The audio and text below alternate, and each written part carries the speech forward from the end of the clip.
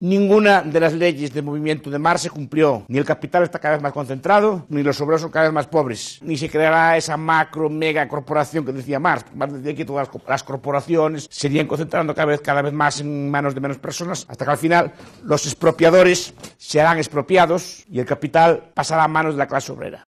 ¿Cómo Marx, que es un burgués, hijo de burgueses, marido de burgueses, puede osar hablar en nombre de la clase obrera? Como Engels, que es un burgués, hijo de burgués, con una empresa de la cual alimentaba a Marx, fue toda la vida alimentado, según él, por la explotación del, del trabajo. ¿Cómo esa persona puede osar hablar en nombre de la clase obrera?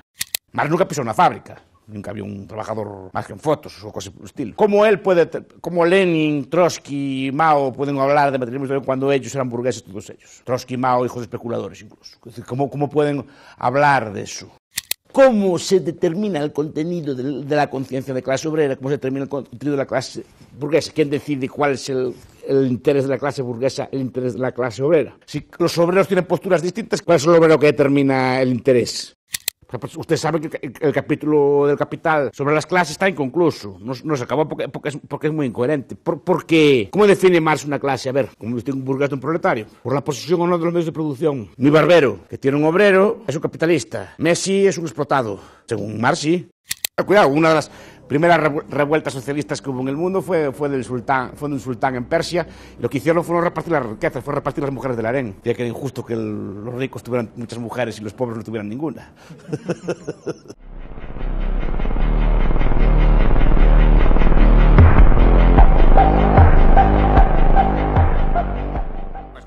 El marxismo no solo tiene un programa económico, tiene, un programa político, tiene un programa filosófico, y después que derivará en el, en el programa derivado en el, primero en el, en el, comunismo, después en la socialdemocracia, y después en, otra forma de socialismo como el fabianismo, por ejemplo, como el socialismo fabiano. Pero básicamente, bueno, filosóficamente también el, el marxismo es un determinismo, el marxismo sí que es un determinismo. Y aquí es una contradicción, por ejemplo.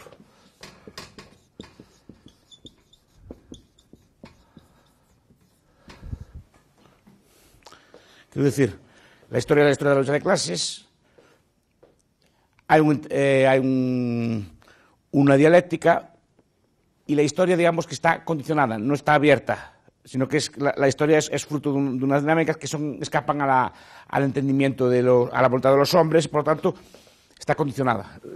Eh, el futuro del socialismo es ineludible. El socialismo llegará de forma inevitable son las conclusiones de las llamadas leyes de movimiento del marxismo.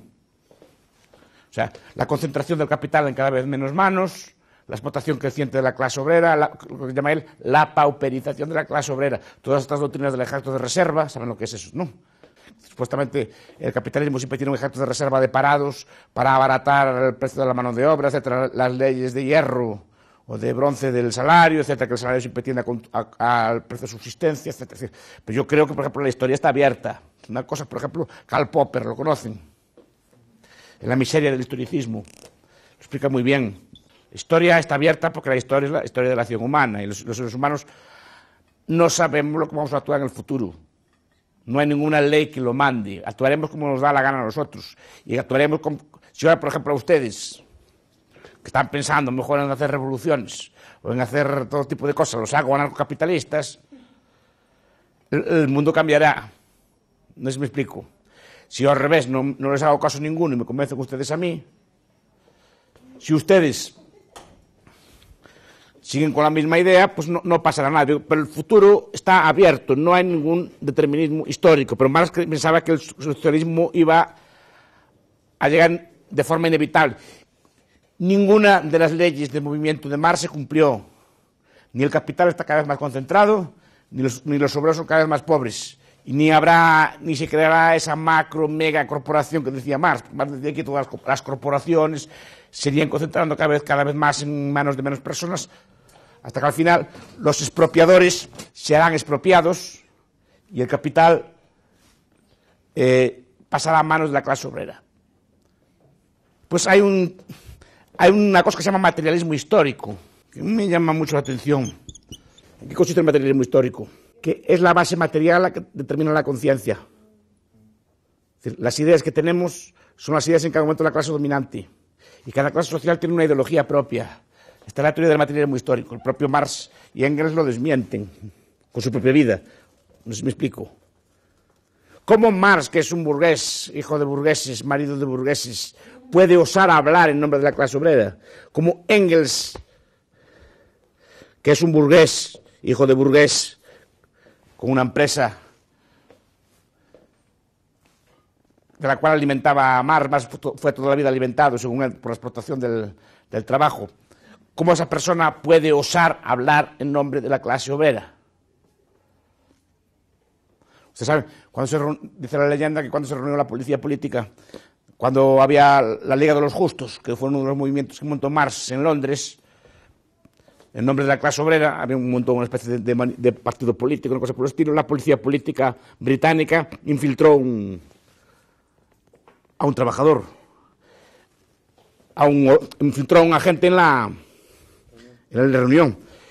¿Y qué lo descubrieron rápido? Porque él era obrero. Porque era el único obrero. Supuestamente era una liga en defensa de los obreros, la policía mandó un obrero para para infiltrarlo.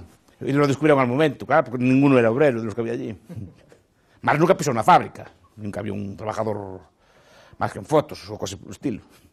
Entonces digo, ¿cómo él puede, cómo Lenin, Trotsky, Mao pueden hablar de materialismo cuando ellos eran burgueses todos ellos? Trotsky, Mao, hijos especuladores incluso. ¿Cómo, cómo pueden hablar de eso? ¿Con, ¿Con, qué criterio? Después, ¿cómo se determina el contenido de, la conciencia de clase obrera? ¿Cómo se determina el contenido de la clase burguesa? ¿Quién decide cuál es el, el interés de la clase burguesa, el interés de la clase obrera? ¿Quién, ¿Quién, dice cuál de los si los obreros tienen posturas distintas, cuál es el que determina, cuál es el obrero que determina el interés? Después que los obreros están divididos en facciones. Y los, los, capitalistas en facciones. Hay, capitalistas terratenientes, hay capitalistas industriales, hay capitalistas financieros. Cada uno de ellos con sus propios intereses porque están unidos. Y los obreros lo mismo. Pero están fragmentados. Y a día de hoy pasa aún. Capital, obrero del primer mundo frente a obrero del tercer mundo. Obrero, obrero nativo frente a obrero inmigrante. Obrero masculino frente a obrero femenino. Es decir, hay, hay, muchas fragmentaciones de la clase obrera. ¿Cuál es la, cuál es la correcta? ¿Cuál, ¿Cuál es el interés de la clase obrera? Pues supuestamente el partido guía, el Partido Comunista, representa el interés de la clase obrera. Y después, ¿cómo define un obrero? Pues usted sabe que el capítulo del Capital sobre las clases está inconcluso, no, no se acabó porque, porque, es, porque, es, muy incoherente. Por, porque, ¿Cómo define Marx una clase? A ver, ¿cómo distingue un burgués de un proletario? Por su riqueza. No. Por la posesión o no de los medios de producción. riqueza, claro, la riqueza en solo no vale. El obispo de Santiago, por ejemplo, puede ganar menos que un, que un sastre rico, pero ¿quién manda más? No sé si me explico. Hay otras cosas como estatus, otras cosas así, las clases sociales son complejas. Él lo define por la posesión o no de los medios de producción. Entonces, mi barbero, que tiene un obrero, es un capitalista. Messi es un explotado. Según Marx, sí. Según Marx, sí. Porque,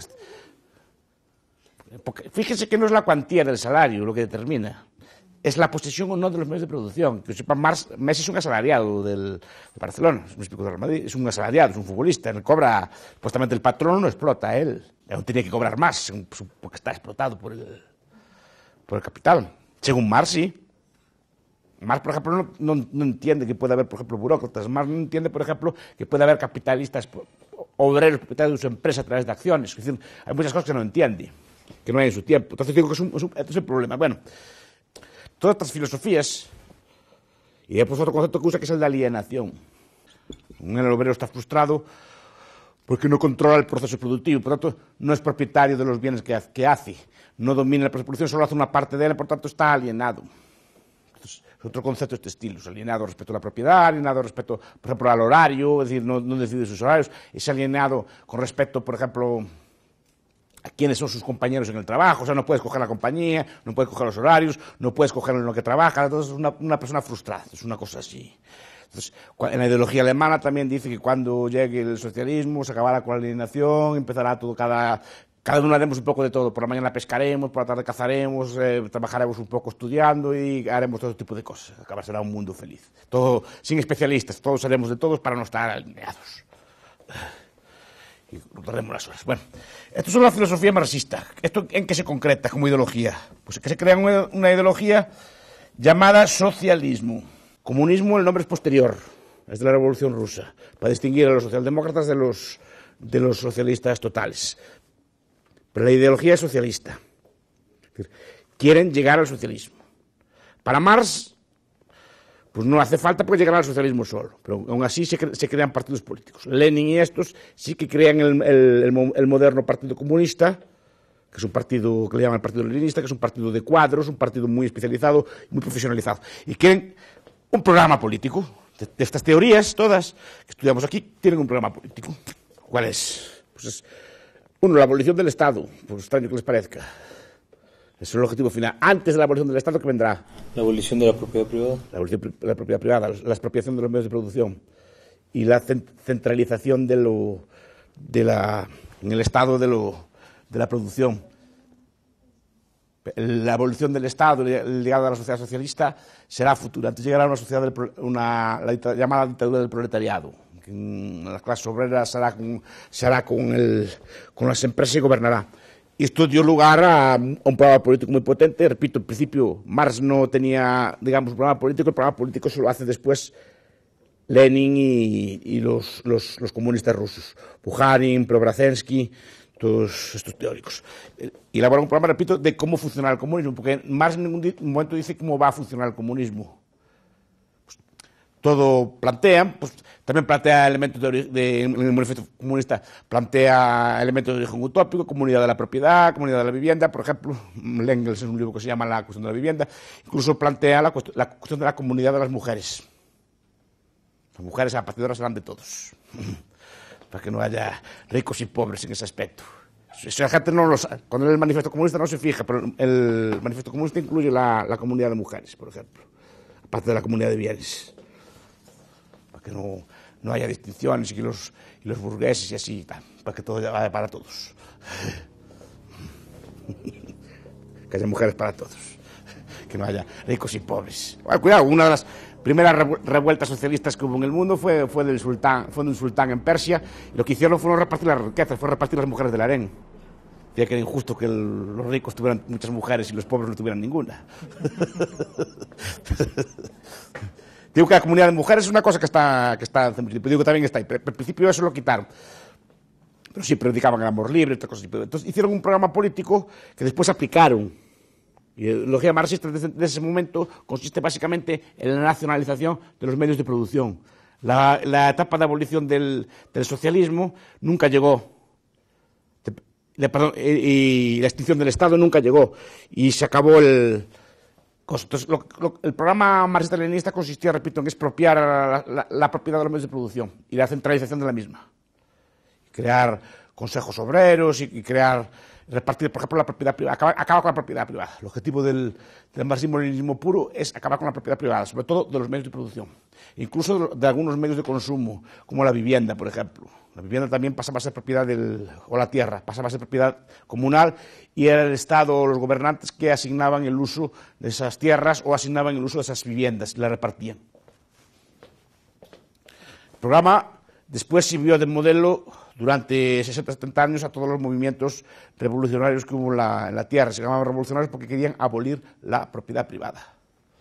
Y abolirla y concentrarla en el Estado. ¿Por qué?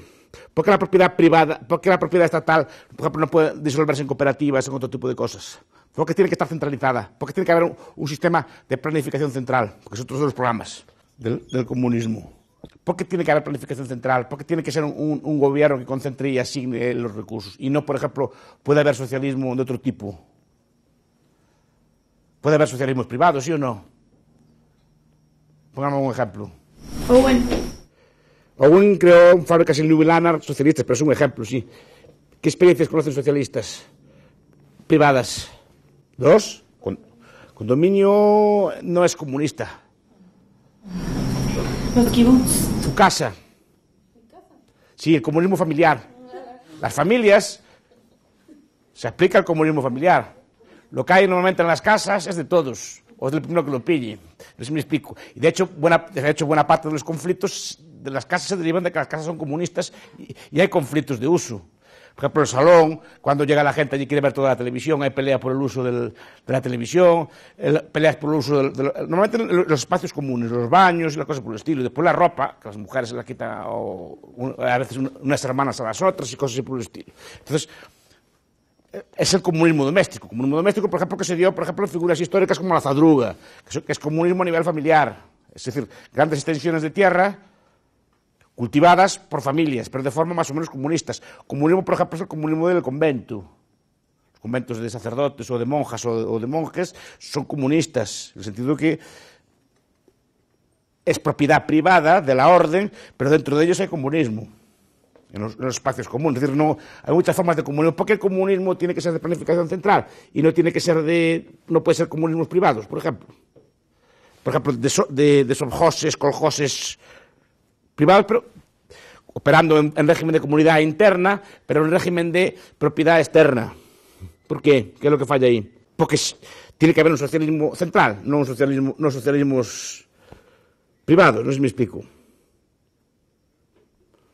Porque volveríamos a las mismas, habría comunas que serían ricas y comunas que serían pobres. O sea, habría, habría sovjoses o, o, o, coljoses bien gobernados, bien administrados, que, prosperarían, y sovjoses que no. Y habría que asignar el crédito. Y después que hay un problema de asignación del crédito. ¿Quién, asigna el crédito? O sea, los préstamos.